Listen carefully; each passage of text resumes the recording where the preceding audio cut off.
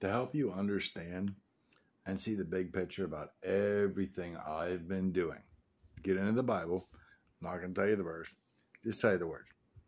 You reap what you sow and treat others as you wish to be treated. And understanding that means respect how others wish to be treated by how they treat you and treat them the same way.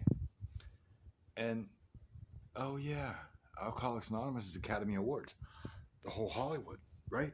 And what do they do? They do character assassination to you conform. Oh, did I get more than I was supposed to? Because I really fasted from people and went in the Bible to understand things and meditated on it. So God gave me the proper direction. Wow.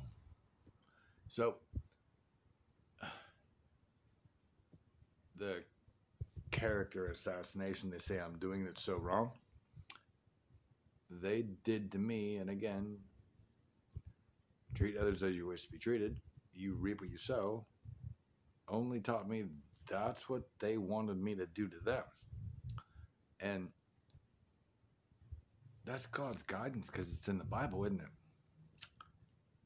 Hmm. Wow. So, who's really in charge here? God as always. Have a blessed night, everybody.